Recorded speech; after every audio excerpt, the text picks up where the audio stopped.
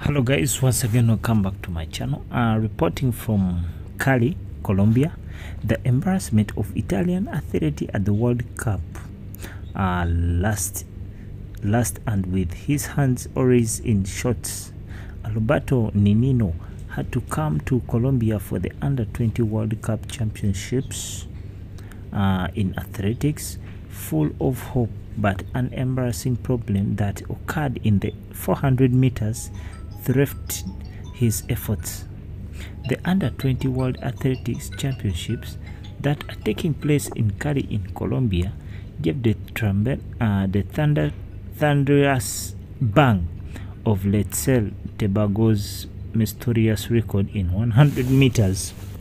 But also a less memorable competitive moment that nevertheless had wide prominence in Latin America, starring a Italian athlete Alberto Ninino, the, the 18-year-old from uh, Fiori, just a few days ago on the on 9th June, had won the Italian junior title in uh, with uh, 7,112 points.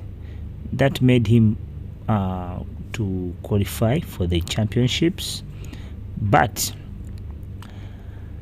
but so when he arrived at the start of the 10, 10 test in Colombia after he was was the first form Nonino was 17 at the point of the program included 400 meters and something really embarrassing happened here which conditioned the whole race of the Italian.